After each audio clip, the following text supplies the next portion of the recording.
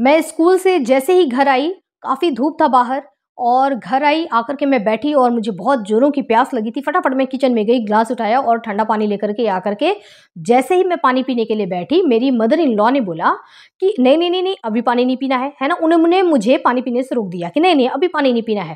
थोड़ा रुको पहले, थोड़े ठंडे हो जाओ, उसके बाद पानी पियो। आप बाहर से आए हो, एकदम गर्म गर्म ठीक है? मतलब काफ़ी गर्म हो, आपको ज़ोर की प्यास भी लगी है और ये ठंडा पानी तुरंत के तुरंत नहीं पीना है। पहले आप थोड़े ठंडे हो जाओ, उसके बाद आपको ये ठंडा पानी पीना है, ओके? तो बच्चों, ऐसा उन्होंने मुझे करने के लिए क्यों बोला? और अगर मैं ऐसा नहीं करती हूँ तो मुझे क्या नुकसान होगा? ये आंसर आपको देना है।